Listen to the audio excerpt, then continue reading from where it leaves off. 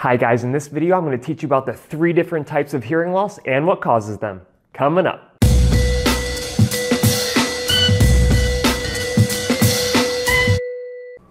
I'm Cliff Olson, Doctor of Audiology and founder of Applied Hearing Solutions. And on this channel I cover everything you need to know about hearing loss and your treatment options. So if you're into that, consider hitting the subscribe button.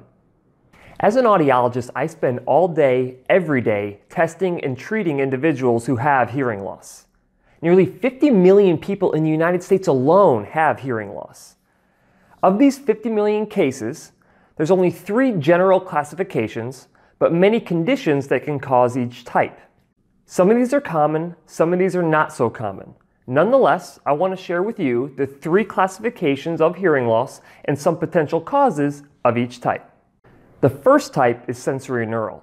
Despite what the name says, most of the time it isn't the auditory nerve itself that has the problem, but it's the little tiny hair cells that are inside your hearing organ, otherwise known as your cochlea. These hair cells flex and move when sound comes into the ear. Their movement sends a signal through the auditory nerve to the brain, causing you to hear. If these hair cells don't work right, you'll have a hearing loss. Some of the most important causes of sensorineural hearing loss is noise exposure and age. If these hair cells sustain a lot of damage from excessive noise exposure, either from impact sounds like a firecracker or long duration sounds like a motorcycle engine, you could sustain a sensorineural hearing loss.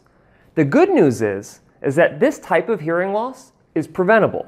Just wear hearing protection.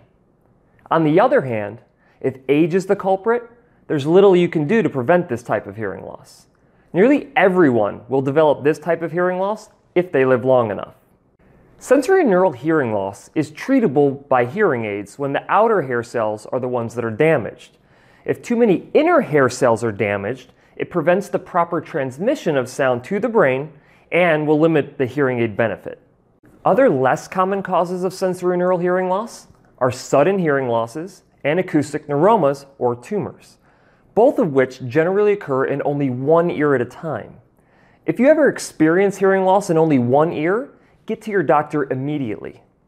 Sudden hearing losses are generally caused by a virus attacking the hair cells of your cochlea that we just talked about.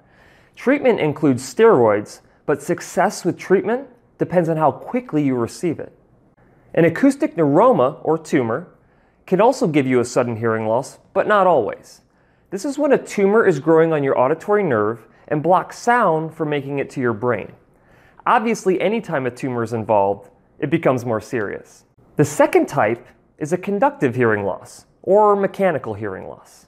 A conductive hearing loss is one that's caused by something preventing the proper transmission of sound to the cochlea. In this case, there is nothing wrong with your cochlea or auditory nerve, just the sound can't make it from your outer ear all the way to your inner ear. Sound has to travel through the ear canal, vibrate the eardrum, which causes the ossicles, otherwise known as the hearing bones, to move, and then they move the fluid inside the cochlea to cause that neural impulse. If any link in that chain has a problem doing its job, you'll have a conductive hearing loss. There are many causes of conductive hearing loss. Some of the most common are earwax, uh, which block the vibration of sound, an eardrum with a hole in it, fluid behind the eardrum, disconnected ossicles, or even fused ossicles.